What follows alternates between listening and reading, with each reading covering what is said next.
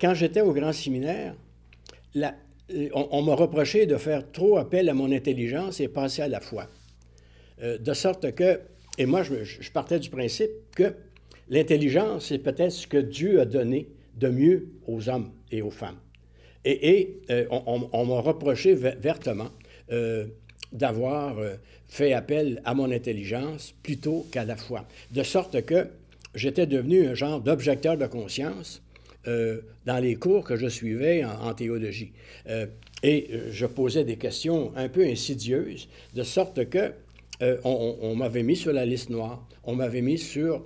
Et, d'ailleurs, Monseigneur Pelletier, qui était l'évêque de Trois-Rivières, m'avait promis, parce que moi je l'avais vu, que je ferais mon cours de, de théologie à les, quatre ans au, grand séminaire de Trois-Rivières et qu'ensuite il m'enverrait à Rome.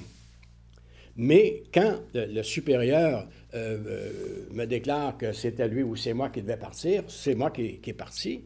Et j'ai demandé est-ce que l'évêque euh, me prenne sur lui ma vocation, parce que moi j'avais l'impression d'être appelé à ce moment-là au grand séminaire.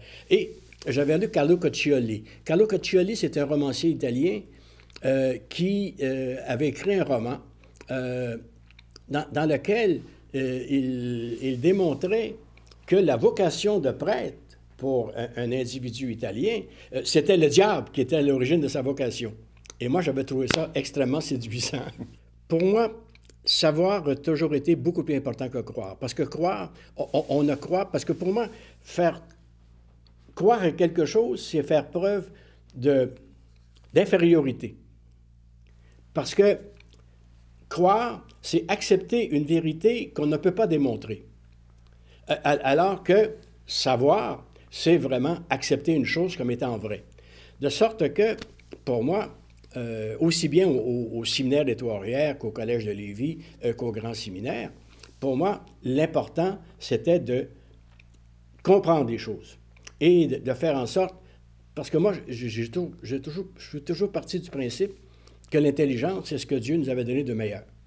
De sorte que si on ne fait pas appel à l'intelligence, si on croit, on fait preuve de faiblesse. Une faiblesse qui est peut-être bénéfique pour certains, mais qui est peut-être maléfique pour d'autres.